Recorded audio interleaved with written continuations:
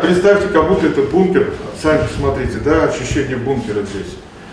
То есть темное пространство. И здесь выход на непосредственно на поле боя.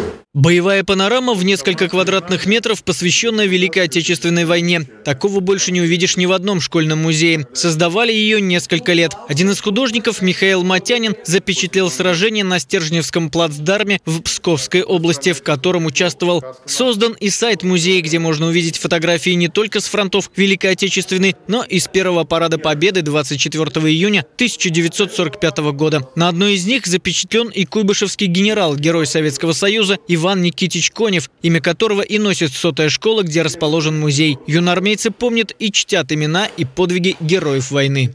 Мы с сознанием нашего отряда выходим непосредственно и стоим на посту номер один. И участвуем в других акциях. Это мини-парады, которые сейчас на данный момент вся Россия делает. Музей 174-й Самарской школы посвящен Соловецкой школе Юнг. Отдельная комната в нем отведена Ивану Павловичу Зорину. Герой войны, Североморец, был единственным юнгой, который прошел по Красной площади в парадном строю 24 июня 1945 года в Москве.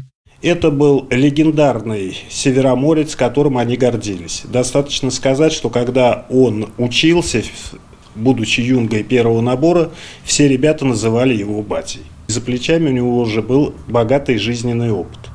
Осенью 1941 года он участвовал в обороне Ленинграда на Пулковских высотах. Ему было 15-16 лет.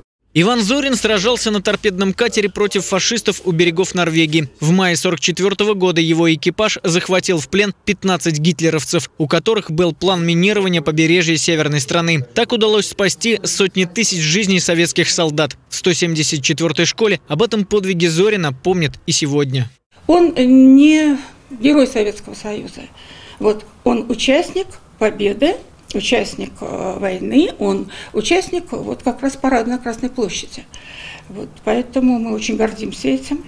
Вот, дети знают его биографию. Детей очень много посещает музей, делаются проектные работы. Музей Соловецких юнг не перестает жить и развиваться. Ко Дню Победы планировалось открыть перед школой памятник в виде корабельного якоря, но из-за коронавируса планы пришлось отложить. Сергей Кизоркин, Григорий Плешаков. События.